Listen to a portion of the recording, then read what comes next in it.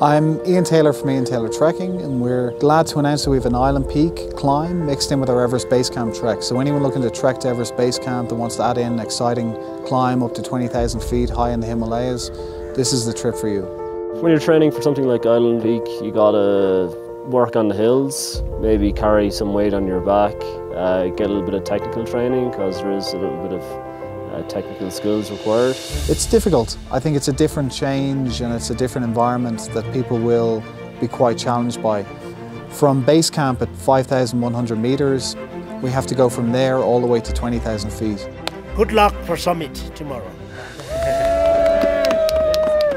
As the journey progressed along, we, we kind of went through snowstorms, slept in tents, the intensity got a little bit more, the altitude went up, and 100% Ian was there to make sure that we got through every step of the way. And most people don't have a high camp. We actually set up a high camp higher on the mountain, halfway up, and it gives us a nice launching pad to give ourselves every chance of making to the summit.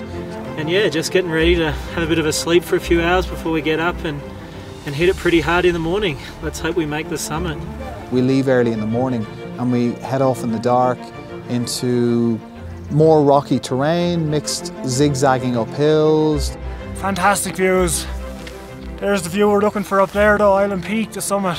It's definitely a transition from trekking to, to mountaineering. You're using a harness, you're using equipment, and it definitely pushes you outside your comfort zone.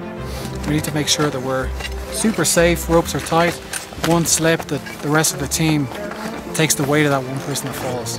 So when we get to the glacier, we cross this narrow ridge um, with drop-offs on either side. So it's not dangerous, but it's challenging in terms of just maneuvering over these rocks at this at high altitude. Then we had to transition to the next phase, which was crampons, crossing the glacier with the cross crevasses. And the terrain is now moving on ice, so we've got our mountaineering boots on with our crampons and we're moving very, very slowly across this glacier before turning a corner, walking flat across the glacier up to 150 metre headwall at a 40 to 60 degree angle before turning onto a narrow summit ridge, half a metre wide and straight onto the summit, which is probably a foot wide. And then there's a kind of a balcony area where everybody can just sit down and relax uh, and enjoy the summit. And it was a real mountaineering day. You definitely felt like you were doing some pretty extreme stuff that day. It was tough, but it was uh, definitely something you'll always remember. And getting to the top was amazing, brilliant feeling.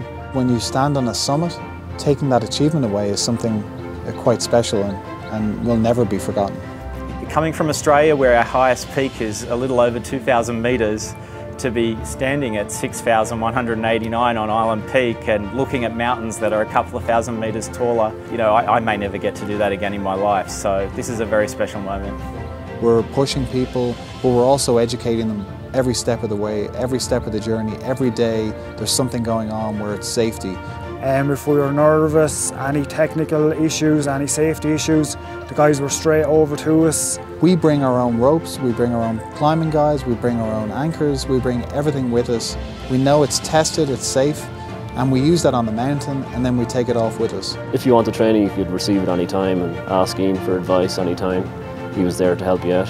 When you're starting to abseil down a hill and you're not quite sure if you've got that figure of eight tied upright and you're about to take the leap of faith and chuck yourself off the mountain, you want to be able to turn to someone and say, does this look right? And when they say 100%, you know, okay, I can jump off the mountain now.